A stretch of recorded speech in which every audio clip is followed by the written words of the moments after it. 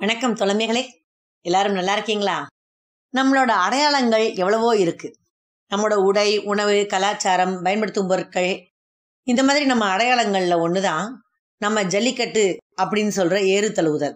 இது தமிழர்கள்ல தொன்மை குடிகளான ஆயர்களோட மரபு வழி குல விளையாட்டுகள்ல ஒண்ணு.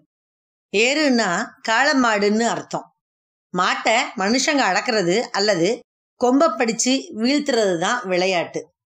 இது நம்ம தமிழர்களோட வீர விளையாட்டுகளில் ஒன்று இது ஆயர்கள் அதிகமாக இருக்கிற இடங்கள்ல தான் நடத்தப்படுது. ஜல்லிக்கட்டுங்கிறது நம்ம தமிழ்நாட்டில் பல விதங்கள் நடத்தப்படுது. அதாவது ஒவ்வொரு இடத்துலையும் ஒவ்வொரு மாதிரி நடத்துகிறாங்க இங்கே அலங்காநல்லூரில் வாடிவாசல் வழியாக காளையை விட்டு அதோட திமில பிடிச்சு அடக்குறாங்க. வட தமிழகத்தில் மஞ்சு விரட்டுங்கிற பேரில் இருபது அடி கயத்தை கட்டி ரெண்டு பக்கமும் ஆண்கள் பிடிச்சுக்குவாங்க.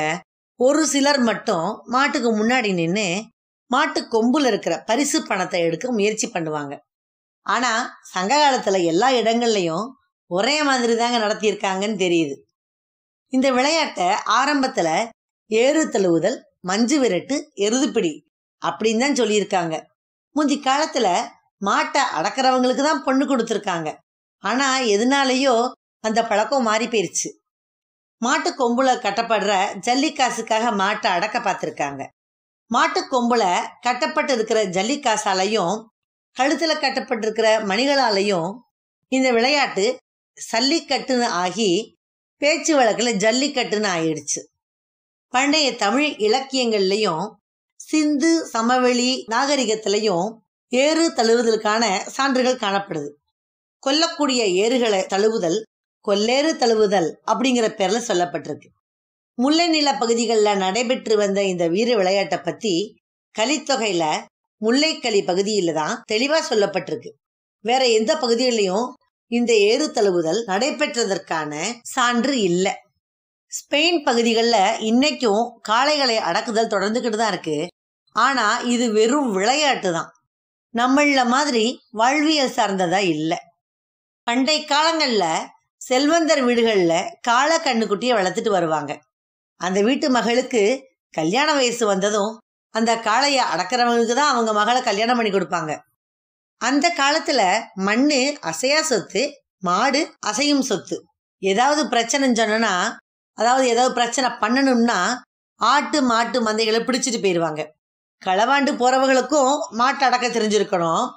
அதுகளை காப்பாத்துறதுக்கும் மாட்டு அடக்க தெரிஞ்சிருக்கணும். முல்லை நிலத்து காளைகள் வீரத்தோட புலியையும் எதிர்த்து நிற்பவை. அந்த வீரம் செறிஞ்ச காளைகளை கொல்லேறு மாக்காளை அப்படின்லாம் சொல்லுவாங்க. இந்த ஜல்லிக்கட்டோட தாயகம் நம்ம தமிழ்நாடு தான் இந்த விளையாட்டு திறந்தவெளி மைதானத்தில் நடைபெறக்கூடியது.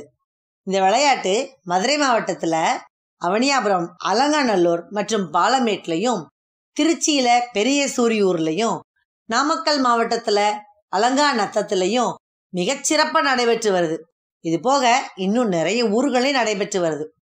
ஜல்லிக்கட்டில் ஏற்படுற காயங்களாலையும் இன்னும் பல பிரச்சனைகளாலையும் ஜல்லிக்கட்டை ஆதரிக்கிறவங்களும் எதிர்க்கிறவங்களும் நிறையவே இருக்காங்க. எது எப்படி இருந்தாலும் நம்முடைய மறைக்க முடியாத அடையாளங்கள்ல ஜல்லிக்கட்டும் ஒண்ணுங்கிறத நம்ம யாராலையும் மறுக்க முடியாது.